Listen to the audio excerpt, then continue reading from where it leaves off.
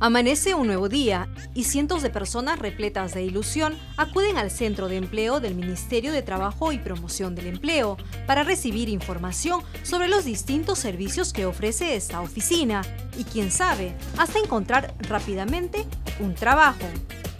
Una de ellas es Edina Chunga Soto, de 22 años, quien llega muy temprano a esta institución.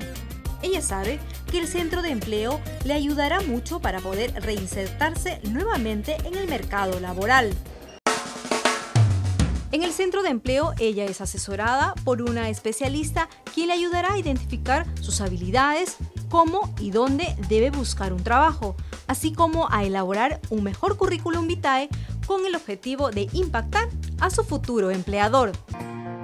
Entre los servicios que brinda el Centro de Empleo del Ministerio de Trabajo y Promoción del Empleo es la asesoría para la búsqueda de empleo, la cual se encarga de brindar estrategias técnicas efectivas que permiten a los ciudadanos fortalecer sus capacidades y poder afrontar exitosamente un proceso de evaluación de personal.